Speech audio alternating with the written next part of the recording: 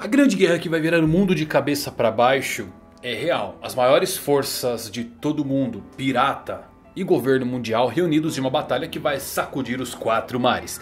E os chapéus de palha estão estabelecidos definitivamente no centro do turbilhão. Com uma tripulação do rei pirata e seus níveis de força não devem ser nada além disso. Luffy disse que iria ultrapassar Shanks, o Ruivo e sua tripulação dita por ser única e inexpugnável.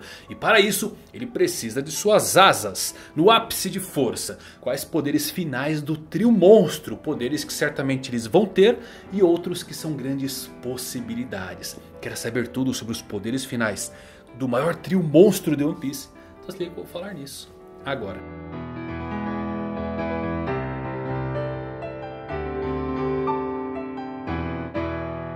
Fala galera, Evandro Fusari com mais um vídeo pra vocês, como é que vocês estão? Espero que todos vocês estejam maravilhosamente bem. E hoje a gente vai discutir, após essas revelações, o fim do arco de Wano Os poderes finais principalmente do trio monstro, que é o que importa, que é o que a galera quer. Zoro, Sanji e o Luffy. Como fica o poder dessas feras para a guerra final e até mesmo ali depois que o Luffy se tornar rei dos piratas. Eu trouxe muita coisa legal que eu tenho certeza que você não sabia. Então assiste até o final que tá muito legal esse vídeo. Se você é novo no canal aproveita para se inscrever. E se você já é membro da pior geração, integrante secreto do trio monstro, um trio de quatro. O trio de quatro ficou estranho né?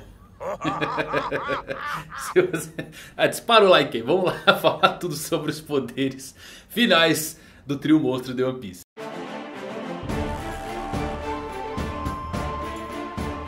Então vamos lá, pior geração. Com exceção do Luffy, o Sanji e o Zoro são usuários de habilidades únicas e principalmente Haki. Então podemos começar aqui lembrando a fala icônica de Kaido que com apenas Haki você pode conquistar o mundo. O mestre no uso do Haki pode enfrentar qualquer Akuma no Mi, seja ela qual for. E já tivemos bons exemplos reais disso na série. Roger encarando o Barba Branca com sua fruta poderosa do terremoto, usando o revestimento do rei. Rayleigh acompanhando a velocidade da luz do almirante Kizaru com seu Haki de observação. E Shanks, o ruivo, parando a Akuma no Mi mais ofensiva de todas do Akainu com seu Haki de armamento. Todos esses momentos são construções para os nossos protagonistas. E Eiichiro já revelou a proficiência do Haki de cada um do trio monstro. Com Sanji tendo sua tonalidade especial no Haki de observação. O Zoro com Haki de armamento e o Luffy com o Haki do Rei. Saber disso já é meio caminho para descobrir os poderes finais de cada um deles. E podemos começar falando de Sanji, sendo proficiente nas tonalidades do Haki da Visão, Sanji despertar Haki Visão futura é quase uma certeza. Lá em Holy Cake ele já desviou da Jujuba do próprio Katakura. Então ser um mestre na sua cor especial é uma grande realidade. Agora o brilho do Sanji é o potencial germa do seu fator linhagem. Seu poder parece oriundo dos Lunarians, considerados uma raça de deuses. E diferente dos seus irmãos que não têm sentimentos, o Sanji se torna não a falha do seu pai, mas o maior acerto de todos. Porque as chamas do Sanji são influenciadas por seu estado emocional. Quanto mais um sentimento aflora, mais quente é o seu fogo. E recentemente foi confirmado aí que o Sanji já consegue criar chamas azuis. Então, um passo além disso seriam as infames chamas negras, que são marcas registradas em diversos animes e seria simplesmente algo incrível visualmente. Chamas negras se encaixam até na estética do Sanji com a sua alcunha de perna negra, bem como o seu traje de batalha que era chamado basicamente de preto furtivo. Sem mencionar que Haki de armamento é frequentemente retratado como a coloração preta quando utilizada. Então essas chamas negras poderiam ser o resultado disso, criando quem sabe uma nova tonalidade para elas. O seu Ifrit Jumbo já é uma nova combinação alcançada. Sanji tem tudo para se tornar um dos personagens mais fortes da série de One Piece. Ainda mais se ele aprender a usar Ryuo. A sua velocidade já é a maior entre os não usuários de Akuma no Mi. Chegando ao ponto aí de desaparecer enquanto ele se move. Então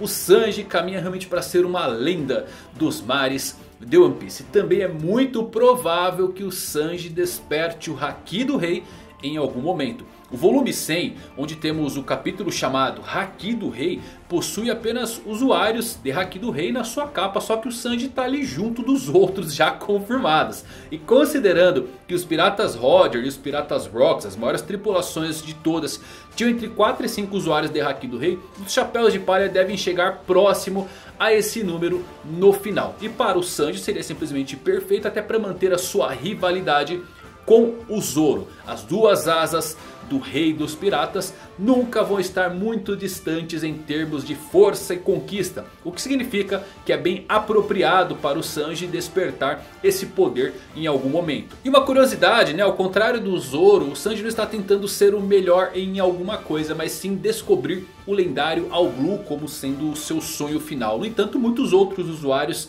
confirmados do Haki do Rei têm uma mentalidade bem como uma personalidade bem semelhante quando o Sanji, principalmente aí o Katakuri e até mesmo Edward Newgate ou Barba Branca. Ambos são piratas que nunca tiveram nenhum desejo de adquirir o título de mais forte. Mas sempre estavam focados em apenas serem poderosos o suficiente para proteger aqueles com quem se importavam. E sabemos que o Sanji está sempre disposto a dar sua vida pelos seus nakamas. Agora temos Zoro, proficiente no uso do armamento. Zoro já é um notório usuário do Ryuou, o Haki de Fluxo. Ele aprendeu isso lá na vila Shimotsuki, no East Blue, ainda jovem. Bem como a respiração de todas as coisas. O Diablo Jumble do Sanji recebeu uma atualização aí passando das chamas normais para as chamas azuis. Então eu gostaria de pensar que Azura do Zoro também pode receber um power up tanto no seu visual como no seu poder destrutivo. Poderes finais que certamente veremos com o Zoro inclui as lâminas negras. Este é definitivamente um power up que o Zoro certamente vai conseguir porque ele representa o auge da esgrima e é muito raro. Para deixar tudo mais incrível, seria mais que ideal ele ter as três lâminas negras para o duelo contra o Mihawk, mas também pode vir após isso na guerra final. Bom, ele despertou completamente o seu Haki do Rei e já tem um domínio incrível no fluxo e no revestimento. Um novo poder extra também seria uma nova espada. Porque eu creio que a Sandai Kitetsu é muito ultrapassada para o Zoro. Ele pode substituir sim por uma espada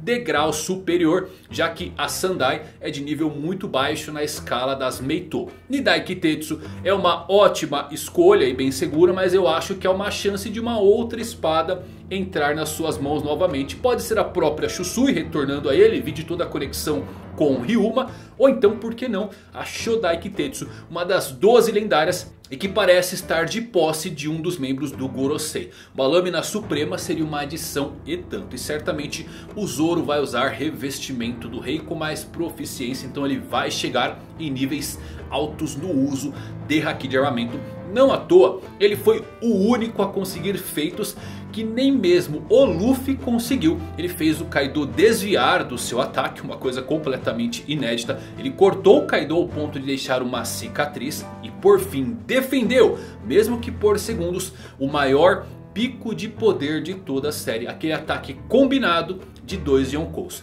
Tudo isso usando o Haki de armamento. Temos também o mistério do seu olho ainda em aberto. O autor flerta bastante com isso. Então não são apenas teorias. Existe algo por trás do olho fechado do Zoro. Claro que pode ser um poder especial. Como pode ser uma piada afinal. Isso é One Piece. Mas o fato de Ryuma ser um espadachim de um olho só e se tornando o deus da espada não pode ser descartada essas conexões. Outra coisa, o Zoro nem mesmo se lembrou de nada do que aprendeu no seu treino do time skip. Então temos o potencial de novas técnicas ainda não vistas. Para fechar em um ano, quando temos os despertares dos poderes de dois protagonistas, membros do trio monstro, os capítulos têm nomes icônicos. O Sanji quando despertou seu fator linhagem no capítulo 1031, recebe um capítulo intitulado Guerreiro da Ciência. Já o Luffy, quando começa a despertar e a usar o seu Gear 5, lá no capítulo 1044, recebe um capítulo intitulado Guerreiro da Libertação. Guerreiro da Ciência, Guerreiro da Libertação. Mas ainda não há um capítulo intitulado Guerreiro de alguma coisa para o Zoro.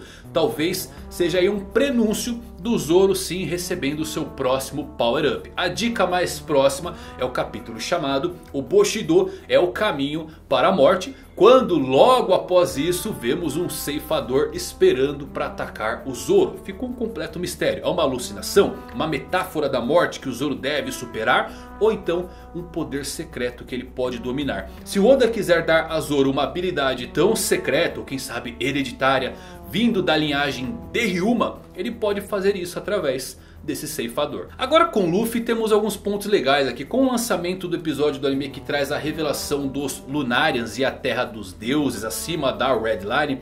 Alguns pensamentos começaram a vir na minha mente, algumas conexões. Mas primeiro falando do Haki, Luffy é proficiente no uso do Haki do Rei, o que significa que ele vai estar nos níveis finais de Roger e claro Shanks, o Ruivo que atualmente sem dúvidas é o maior de todos vivo. Shanks é conhecido também como o assassino do Haki de observação. Então isto pode estar ligado ao seu Haki do Rei avançado puro. Porque o revestimento do Rei é uma combinação de tonalidades. Então ainda temos que saber como fica a forma avançada apenas do Haki do Rei. Então acho que o Luffy pode ser capaz de impedir outras pessoas de utilizar as formas mais avançadas ou mesmo chegar ao ponto de fazer frutos perderem seus efeitos pela quebra da vontade tão intensa. Luffy tem a fruta divina de Nika e ele despertou seu fruto onde agora o seu poder é limitado apenas pela sua imaginação. Foi confirmado que quanto mais ele ri, mais forte ele fica. O Oda deve guardar uma carta na manga para o Luffy ainda como Gear 5 perfeito ou Gear 6 porque atualmente ele sofre efeitos colaterais pelo uso do Gear 5. Voltando à Terra dos Deuses, se Nika veio de lá, ele pode ter sido um Lunarian, porém não vimos asas negras. E se Luffy conseguir isso, daria um visual maneiraço para ele. Sabemos que os Lunarians também controlam o fogo e o Luffy pode usar golpes estranhos como o Red Hawk, o que pode ser um poder oriundo de Nika. Então se a divindade for da Terra dos Deuses, seu poder final poderia estar relacionado às chamas dando uma ênfase em por que Nika é chamado Deus do Sol. Saindo do lado metafórico da libertação e do amanhecer e sendo um pouco mais literal em parecer realmente uma divindade com o poder de um sol. Quem sabe o poder da borracha também se torne algo no que ele pode fazer coisas malucas como apagar e anular poderes. Além do que o Luffy vai aprender novos níveis de Haki do Rei. Muito possivelmente o mais avançado como eu já citei ao qual o Shanks é um proficiente mestre no uso e o que tornou Roger uma lenda capaz de conquistar o mundo. E se a sua fruta depende apenas da sua imaginação, seu Haki depende da sua força de vontade. E sabemos que para ambos os casos, Luffy tem capacidades praticamente infinitas.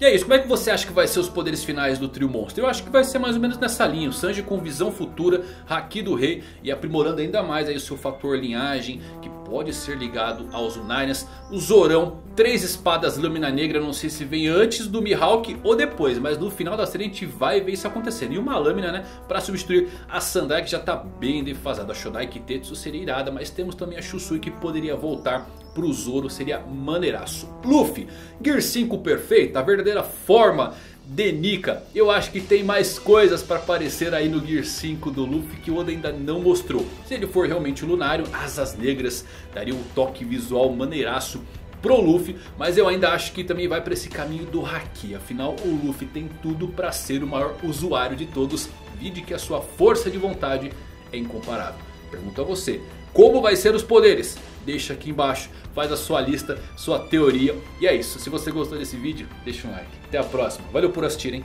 Fui.